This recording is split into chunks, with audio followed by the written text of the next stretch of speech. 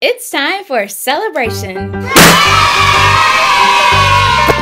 Join me as I show you how I created a fun sight word picture book and music video for the little kids in your life.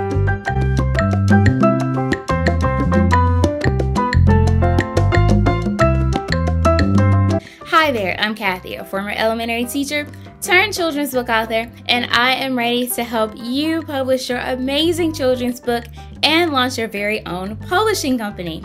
Now, today's video has a very special book that I am so excited to share with you. In fact, it's the very first book that I published, and it's called Don't Be Tardy to the Sight Word Party. This story is a cute little story of the sight words who are rushing from their home across the hillside, across the countryside, and they are on their way to a very special party for their friend. And before they arrive, their friend is sitting at home all by himself. It's almost time for his birthday party, and none of his friends are there. So you can see their special friend shedding tears here on this page. And then he hears a knock at his door, and to his surprise, there are his friends, the sight words and the high frequency words. And they come with their gifts, with their balloons, and they have a very great, big, special celebration for the word the. And of course, what is a party without dancing? So all the words hit the dance floor and they have a wonderful dance birthday party. And I like to end my instructional and educational books with all of the words there. So when students complete the story, this is a great place for them to review all of the words, and parents and teachers can give them a little quiz and they can see where their students are, how many words they know, which words they're still struggling with. So I like to include that at the back, at the end, at the rear of my books. Now, as a former kindergarten teacher, I know how challenging it could be to teach some students the sight words and high frequency words that they have to learn in kindergarten.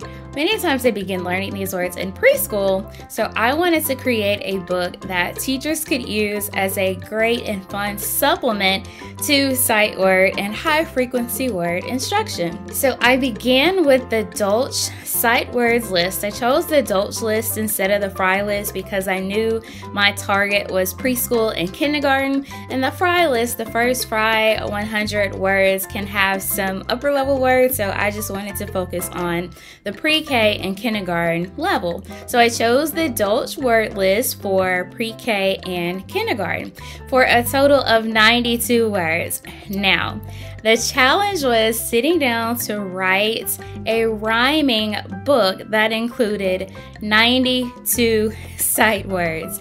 So I sat down, I organized them, I had my little table, and I sorted them by rhyming words, and some of them rhymed, some of them didn't, some of them were a little tougher to work with, but we managed to fit it all together so that they all rhyme in this beautiful book.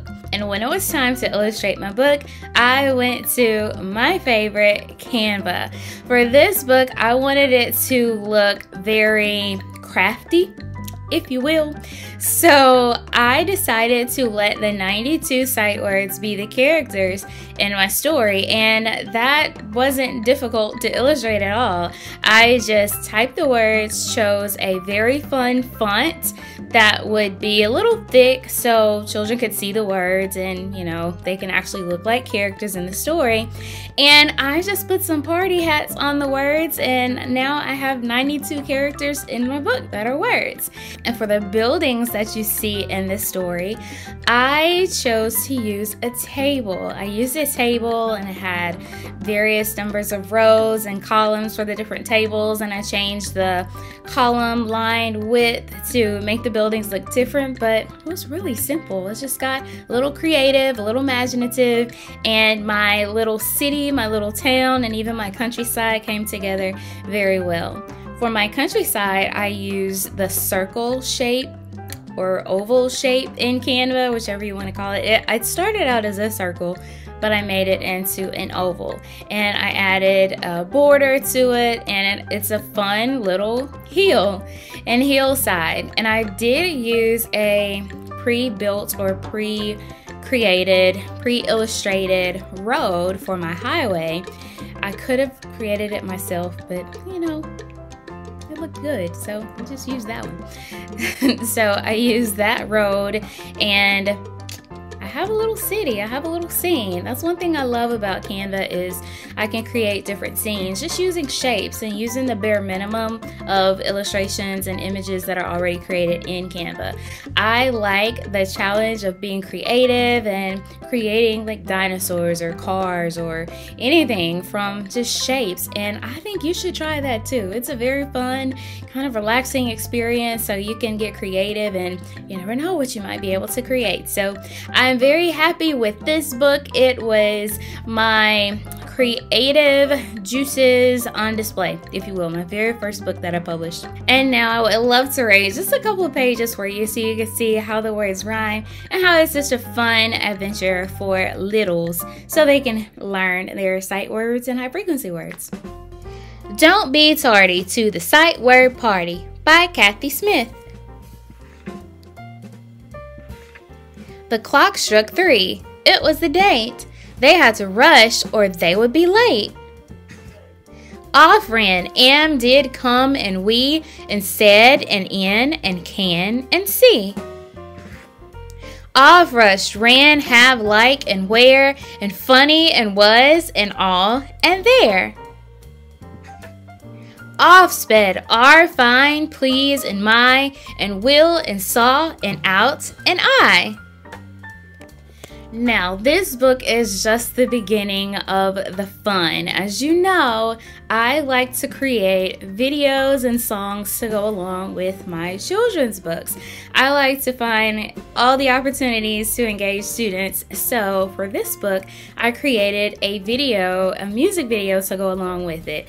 And let me tell you, I love this video. I almost couldn't get it published on YouTube because I was dancing to it. I couldn't stop dancing to the video. It's so much fun. And if you listen to it I think you'll dance to it as well. So for this video it was pretty easy because my story my words were already written and set up in rhyme format. So all I had to do was take my story or my words as I had written them to rhyme and just put them to a beat and a song was born. And this song is so much fun because it's not just a song, it's also a dance. So at the end of the song, I included a dance. They're dance steps, kind of like you know, I'm a little old school. I don't know all these new dances that are coming out, but it's akin to maybe the electric slide or the cha cha slide or you know, those types of dances, the line dances. So I included a dance that students could do, and it's at the end of the song. So, of course, we have to do our work first and then we can play. So, when they go through the song and they review all of the 92 words, then they can do the dance at the end. And it's so much fun. I'll let you listen to a snippet right here, but be sure to visit my Beatbox Beats YouTube channel so you can see and dance to the song in its entirety.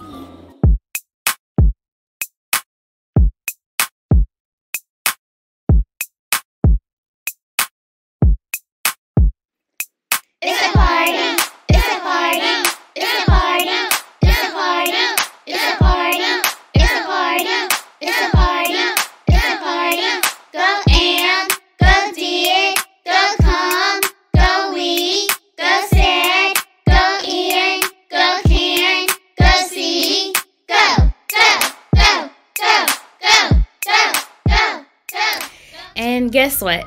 I did not stop there. So I have the children's book, the picture book, I have the song and video, and I also wanted to create an activity book or a workbook that children could use to extend their sight word and high frequency word learning and study. So I created the activity books or workbooks and you can see a sample of them here and I created a sight word workbook for three different grade levels and then I created one workbook that's all fun, different fun activities that are for this picture book and this song, and you can see it here. So there are many ways for students to learn, and I think parents would be appreciative and teachers as well that they have these resources. There's the picture book, there's a fun dance, and then there's some applications, some extension activities where students can actually practice writing and spelling and reading the sight words and high frequency words. And I didn't stop there. So I have the picture book, the music video, the workbooks, and I wanted to create another engaging resource for students. So I created stickers, sticker sheets. And parents might get a little upset with me, but I think it's worth it if their children learned the sight words and high frequency words. So I created sticker sheet packs and students can stick the sight words on their notebooks, on their lunch boxes, book bags, on the back seat of the van, whatever they want to do with the, their stickers that their parents would allow them to do. So students can fill their world with the sight words and high frequency words, and the more they're exposed to them, the easier it is for them to learn them. And why is it important to learn the sight words and high frequency words anyway? Well, it helps students with their reading fluency because the sight words and high frequency words occur a lot in their reading material. And many of these words are words that students can't sound out or blend, and a lot of them have spelling patterns and sound patterns that students won't learn until maybe the first or second grade. So when they see these words in kindergarten, they need to be able to read them. So that's why it's so important for students to have that sight word and high frequency word instruction. And these are some supplements, some resources that can help parents and teachers as their children are learning. I hope you've enjoyed this behind the scenes look on how I created a picture book, a music video, and a workbook and sticker set to help students learn their sight words and high frequency words. Now, if you're a teacher, don't forget you can learn how to create your own books at Teacher Authors Academy. And if you're not a teacher, I've created a creative space just for you at Suma Creative Studios. You can check out the link to both in the description. For celebration. Woo!